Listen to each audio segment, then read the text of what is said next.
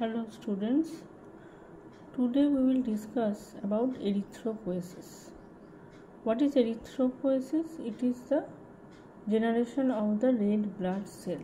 Why it is necessary? Because we know that around 120 days is the lifespan of a RBC.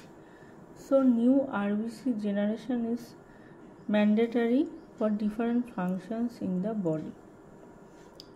Today our topic of discussion is different factors which regulate erythropoiesis. First come to the local hormones. Some local hormones like interleukins are secreted from T lymphocytes and they are mainly 1, 3 and 6. Stem cell factors and granulocyte monocyte colony stimulating factor these are the local hormones.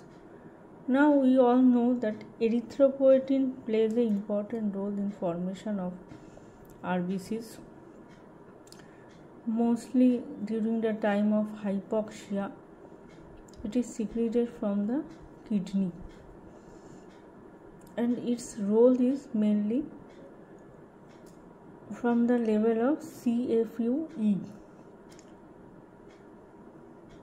Also, it promotes hemoglobin synthesis and help in different maturation process of RBC from pronormoblast onwards.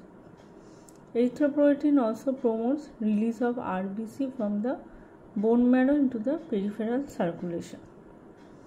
Now comes different vitamins like vitamin B12. It is very important for erythropoiesis normal requirement is 1 to 2 microgram per day. Its deficiency cause pernicious anemia.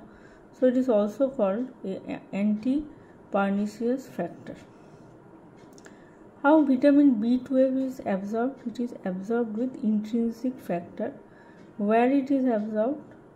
It is absorbed as a intrinsic factor cyanocobalamin complex in the ileum and the process is endocytosis. So, vitamin B12 deficiency causes secondary folate deficiency and decreased synthesis of methionine which hampers the myelination of the neurons and exogenous folic acid can reduce the hematological symptoms but neurological symptoms